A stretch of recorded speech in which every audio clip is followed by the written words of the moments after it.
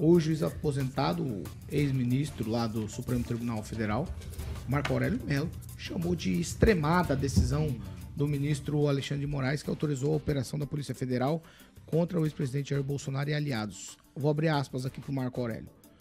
Uma busca e apreensão na casa de um cidadão enxovalha o perfil dele, fecho aspas. Foi o que falou Melo em uma entrevista para a revista Veja, entre aspas de novo.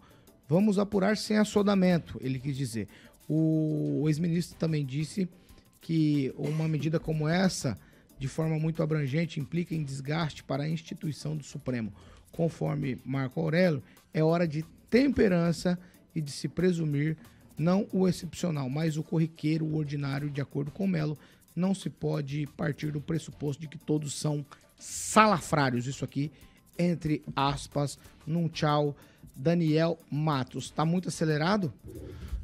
Paulo Caetano, tá muito acelerado, mas o Marcos Melo, ele que é polêmico, né? Então ele volta à mídia, ele que mandou soltar o André do Rap, a Suzane, né? A Suzane Rostoff. E o goleiro Bruno do Flamengo, né? Do seu time. Ele tinha mandado, ele votou para soltar o goleiro Bruno do seu time.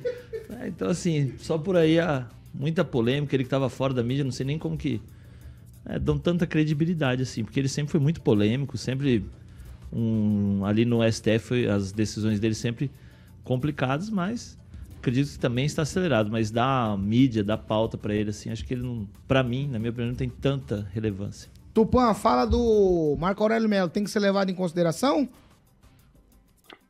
Paulo Caetano deve ser levado em consideração, porque eu vejo aqui nos grupos, nas redes sociais, que vivem criticando o STF. O STF é a instituição brasileira mais odiada hoje no Brasil. E certos nomes, por exemplo, como Alexandre de Moraes, não pode sair em lugar nenhum que o pessoal já pega no pé, vaia. Veja lá o que aconteceu ano passado lá na Itália, que até hoje a gente não viu as imagens, que muita gente fala que não aconteceu absolutamente nada. Para ela ficar tanto tempo é, em segredo de justiça, não sei para quê. Se teve realmente agressão ao Alexandre de Moraes, tinha que ser mostrado já assim que chegou o vídeo e isso não aconteceu.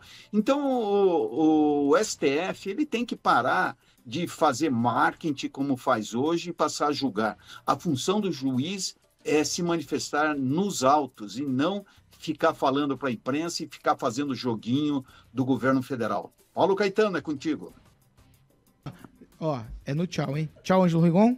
Tchau. Uh, só lembrando, né, fui muito feliz, Daniel, lembrar a questão do André do Rap, porque ele su é, sumiu a partir de Maringá, do aeroporto de Maringá.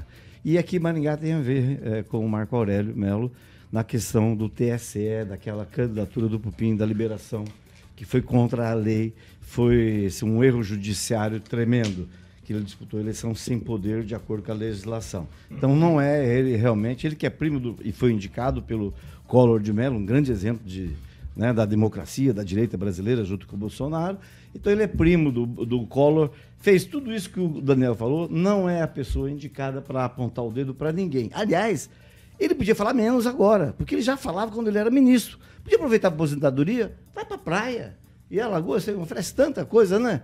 Vai lá pra praia, deixa a coisa, a coisa acontecer. Tchau, Pamela Bussolini. Tchau, Paulo Caetano. Bom, é, algumas coisinhas a gente pontuar. É, quando o Marco Aurélio liberou o André do Rap, é, não concordo jamais, mas ele fez dentro da lei, infelizmente. O STF não faz lei, não fazia, né?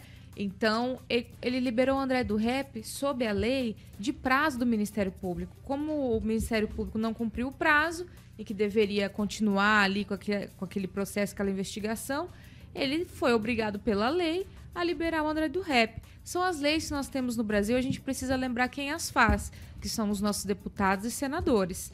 Então, essa é a situação. O Marco Aurélio soltou o André do Rep, mas obedecendo, infelizmente, a nossa lei brasileira. Agora, o que está sendo feito daqui para frente, muitas vezes não tem respaldo na própria lei brasileira. É aí que está o estranho e é aí que penso que entra a crítica dele.